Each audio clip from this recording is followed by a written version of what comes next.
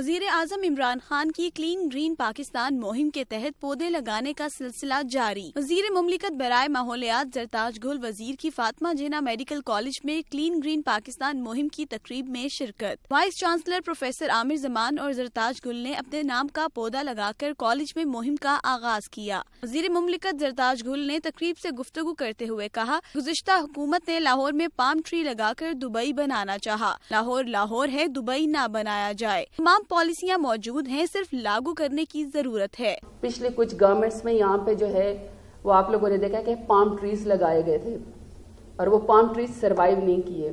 اس لیے کہ لاہور لاہور ہے، لاہور کو دبئی زبردستی بنانے کی کوشش مت کریں۔ زرتاج گل نے تقریب سے گفتگو کرتے ہوئے کہا، پاکستان کو پانی کا مسئلہ بھی درپیش ہے۔ آنے والی نسلوں کو اور زیادہ مشکلات کا سامنا کرنا پڑ سکتا ہے۔ تقریب میں vice chancellor professor doctor Amir Zaman نے مہم کے تحت تمام فیکلٹی کی طرف سے پودا لگانے کا اعلان بھی کیا۔ کیمرامین بابر ریاض کے ساتھ تاشا رحمان، لاہور نیوز۔